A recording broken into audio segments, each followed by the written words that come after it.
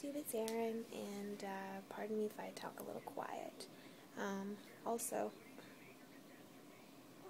let me just clear that away. I was uh, just staring at her and ended up sitting here crying because she's just so perfect. And I'm gonna cry now, and if I cry now, I'll become a hot mess, so I won't. But she's absolutely beautiful. She is perfect. And here she is. You can see her. She's so pretty.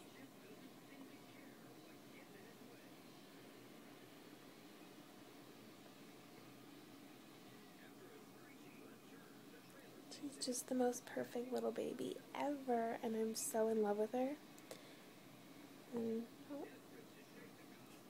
oh. what? Do you not like mommy vlogging?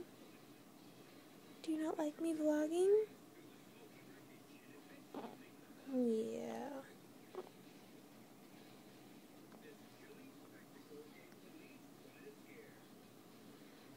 But yes, I will be doing a video very soon of my labor and delivery stories. I'll let you all know that.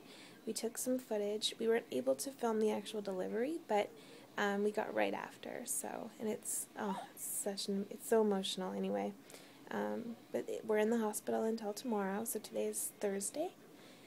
So we're in the hospital tomorrow morning. Um, she's got a bit of mucus, so we uh, like a, a, little bit of fluid on her lungs. So we have to uh, stay just to be sure that she's okay. But as you can see, she's okay.